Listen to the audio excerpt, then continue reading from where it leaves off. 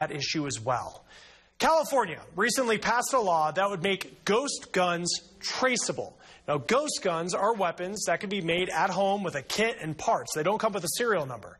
California's law would require owners to apply for serial numbers that wouldn't take effect until 2024. Now, the passing of the law came just before it was discovered the shooter at a high school near Los Angeles last week used one of these.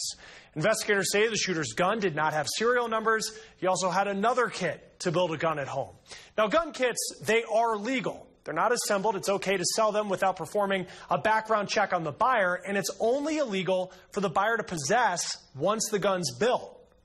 Uh, so at the time the parts are sold, uh, it's legal for the seller to sell them with no background check. Uh, but as soon as they're assembled into an operable firearm, uh, in many cases, if the person again is a minor or is a felon or a domestic abuser, uh, uh, again, it's it, it, becomes illegal for that person to buy, uh, excuse me, to, to, to have the gun.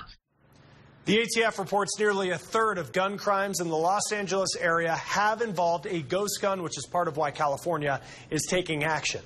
New Jersey also passed a law related to ghost guns in 2018. It bans buying firearm parts that don't have a serial number. It also bans using 3D printers to build guns or gun parts. It makes it illegal to distribute computer code to 3D print a gun.